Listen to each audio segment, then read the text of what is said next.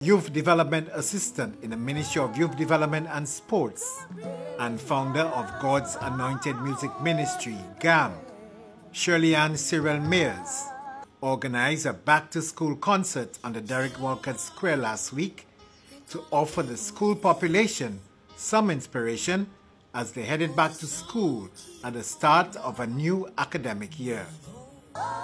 Mears was pleased with the outcome and the support given to her by various agencies in staging the concert. I am just so happy um, for the inspiration to do this back to school concert. Um, I had this back to school supplies drive for our students, and we know that with all of the ills of society, our children are depressed, our children, they, they, they feel that, that sense of, of hopelessness and I just wanted to do this um, gospel concert where we invite the, the Holy Spirit, God, to be in the lives of our children, to encourage them as they go back this new school year to, to um, have this spiritual upliftment and to continue serving Him and to live for Him. Minister responsible for youth development and sports, the Honorable Kenson Casimir, attended the concert and had some words of inspiration for the students in attendance. He considered it a worthwhile event.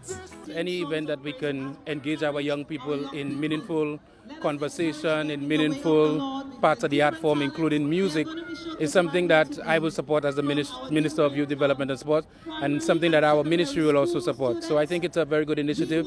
I mean, starting the, the in, in prayer is pretty much the best way to go. And as I said in my, my speech, it is something that we need more of in this nation, and it's something that we're going to continue to encourage.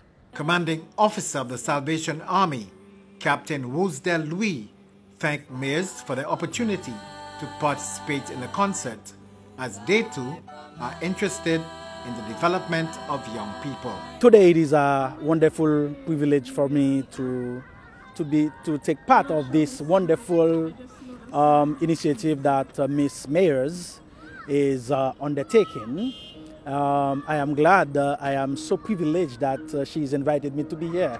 But uh, as the Salvation Army officer or commanding officer, we care about people, especially the young people, the less fortunate people, the marginalized one. Meanwhile, President of the St. Lucia Mission of Seventh-day Adventists in St. Lucia, Pastor Roger Stephen, was of the opinion that the concert will help instill much needed spiritual guidance in the students who attended. I am very pleased, I'm very elated to see what is happening here at the square today. Uh, a back to school initiative just to pray for the young people, to pray for the students of this nation. I think it is a very, very timely initiative, especially when we see what is happening around St. Lucia the the violence, the fight, the gun, the killing senselessly.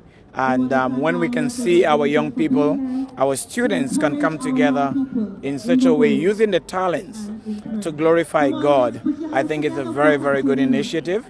And even so far, seeing the talents of the young people, those who sang, those who danced, you know, those who played the instrumental um, pieces, it is just a wonderful thing. As for Mrs. Mears, her aim is to continue making a positive change among the island's youth through her musical ministry.